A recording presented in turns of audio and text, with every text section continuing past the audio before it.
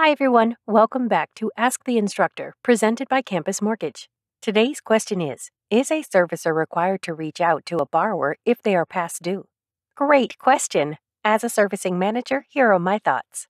Servicers are required to reach out to borrowers when they are past due. Fannie Mae and Freddie Mac require servicers to begin outbound call attempts to contact borrowers about their delinquency. Servicers are also required to send notices to notify a borrower of a late fee, as well as a specific notice to ensure the borrower is aware there may be options for them if they are experiencing a hardship. Early communication is one of the best ways to prevent a borrower from becoming more delinquent. Servicers will continue outbound phone calls and notices as required and attempt to establish and maintain communication with the borrower.